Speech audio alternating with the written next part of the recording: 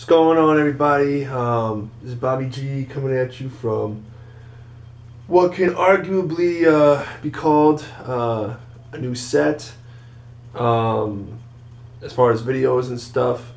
Um, what I hope to be doing at some point is starting a new series called um, Breaking It Down. And um, hopefully we can really get that going. I know I made a uh, video about it a few months ago. This time I'm looking to try and get started in earnest.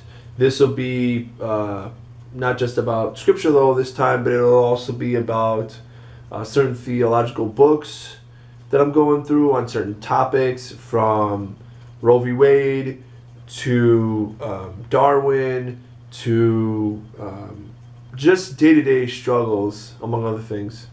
Um, also, I might put in a few history books here and there because I am a history student. I'm a history buff. Um, I mean, I've got a lot of stuff here. Got a lot of interesting um, choices, a lot of commentaries, um, a lot of con- a concordance or two. Um, you know, things like uh, Supreme Court decisions and so on.